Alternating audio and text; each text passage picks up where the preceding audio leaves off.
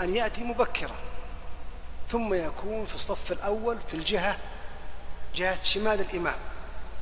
والأيمن أفضل الأيمن فالأيمن فالأيمن. وقد ورد في حديث إن الله وملائكته يصلون على ميامن الصفوف.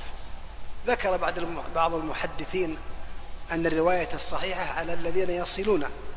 لكن فضل الأيمن أو فضل لكن جهة الأيمن أفضل في عموم النصوص.